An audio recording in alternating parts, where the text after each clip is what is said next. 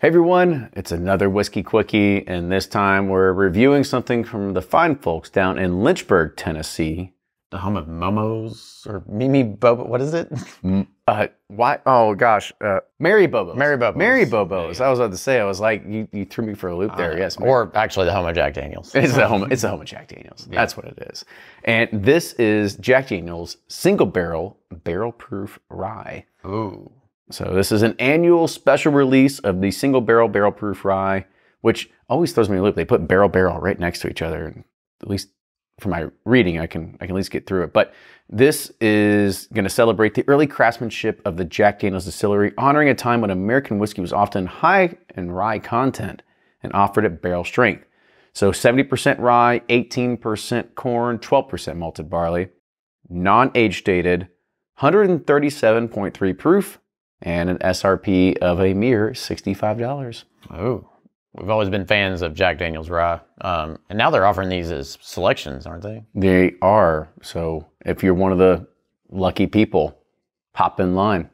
Maybe we can get lucky. You know, let's let's let's see if what, what the review comes out of it. That's right. I think we know this is going. So on with the nose. Here we go. Oh, that's nice. It does sting the nostrils just a little bit, but 100, almost 140 proof, you're probably going to get that. Oh man, there's some just great oak. I was about to say, the Uh, oak, the oak depth is really good there. You get that like charred oak flavor or nose aroma, but then you just get like kind of like you get this like berry explosion. A lot of berries.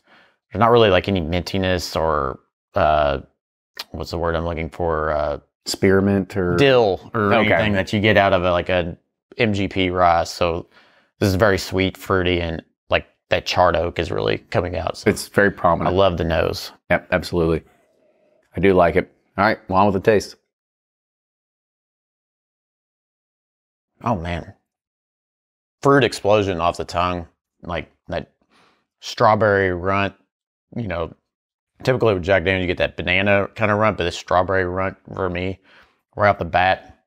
And then it just goes in that nice charred oak, um, caramel, vanilla, but this nice charred charred oak flavor on the back end. When he says strawberry runt, it's not like this overly strawberry sweetness. It's like a like a subdued, I guess you could say, version of it. I wouldn't say like bitter strawberry, but there is a almost like a, a different berry taste. Yeah, it's like a strawberry lemonade like kind of flavor that you get like. I still of- seem sugary. Well, I know. I, it's all to me. It's all like sweet and sugary and fruity, right See, there. for me, it feels a little subdued. It's like it's not bitter, but it's not an overly sweetness. But yeah, I- potato, potato. eh, whatever.